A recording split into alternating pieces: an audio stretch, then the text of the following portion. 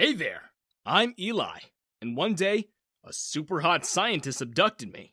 But before I tell you the rest of my story, please remember to like, subscribe, and click the notification bell icon so you can stay updated about new uploads and to show your support for me. I didn't know taking that IQ test was going to lead to this. But when I got my results, and that piece of paper said that I had an IQ score of 162, I started getting weird calls from private numbers. At first, I thought it was just spam. The calls would always start with some odd elevator music, and then, what sounded like a recorded message would play. I did tend to frequent internet forums, and so I thought it was just from signing up to too many sites. Or maybe I clicked on some weird links, I supposed. But then, one day, when I took the time to actually listen to the whole thing, I found out that it was an invitation. An invitation to join the country's premier society for gifted people. Or so they claimed to be. Not gonna lie, I was pretty stoked. The whole thing made me feel special. Important, even. And speaking on behalf of total geeks like myself, who wouldn't want to be part of an elite exclusive secret club? So that's how it all began. When I finally took that mysterious phone call, I followed the instructions given to me and I answered the questionnaire as accurately as I could. At the end of the call, they gave me a temporary member number. Apparently, my application was subject to a review first. The robotic voice on the other end of the line said that I would be contacted within the next week if my application was successful. And, once accepted, they would need to invite me to one of their offices to formally induct me into the club. Then the line clicked and the call ended. That very same night, I received an email from them. I didn't really expect everything to happen that fast. But the reasoning they gave me were all logical. They told me that no member had ever had any score above 150. And so everyone was pretty excited. They arranged for me to be inducted, toot sweet. The following morning, a shiny Cadillac pulled up to our house.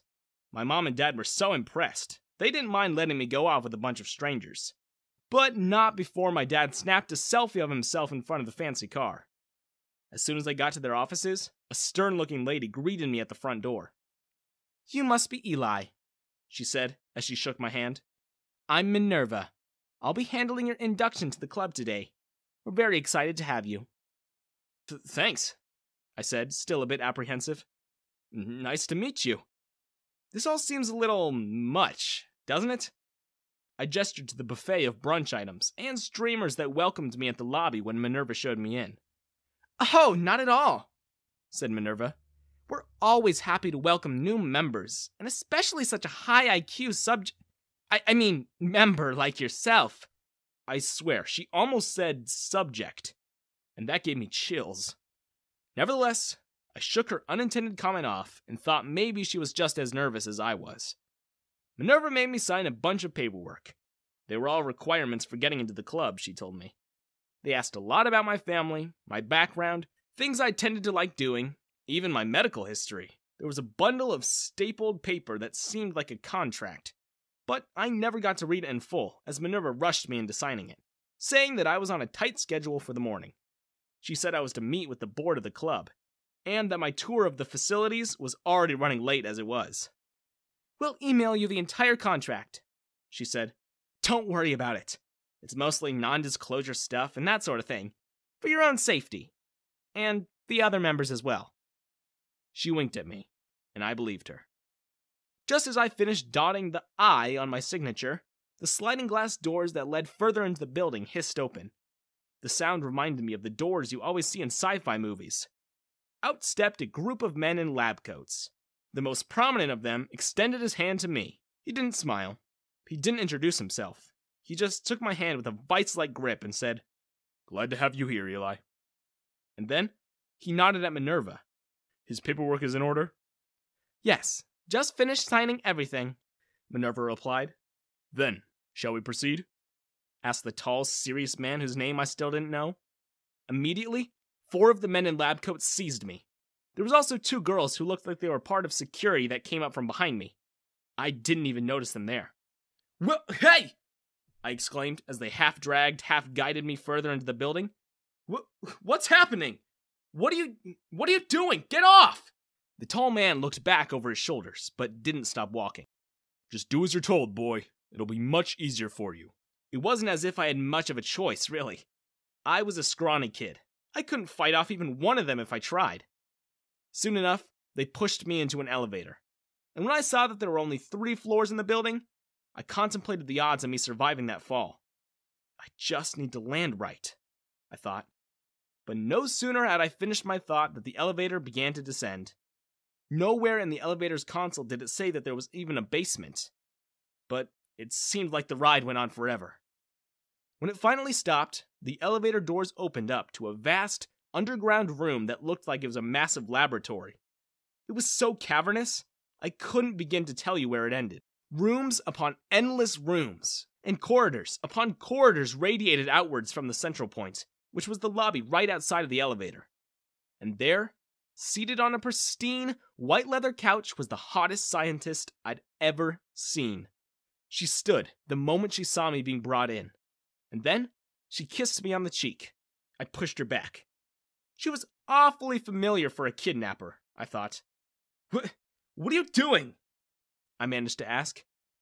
Why, welcoming our most valuable subject, of course, she replied.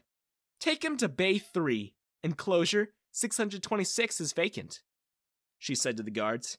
And to me, she winked and said, We've prepared very comfortable accommodations for you. From now on, you're no longer Eli. Here, you're simply 24601. Memorize that. You're gonna need to. At that, she flipped her hair and walked away. What did I get myself into? Why was this happening to me? Why is this even allowed to happen? I should have just joined Mensa instead of some random club I've never even heard of. Why didn't I just join Mensa? I was being carried away towards a sterile looking corridor and having these thoughts that something caught my eye. The whole corridor was a row of what they referred to as enclosures, and in each one there were people.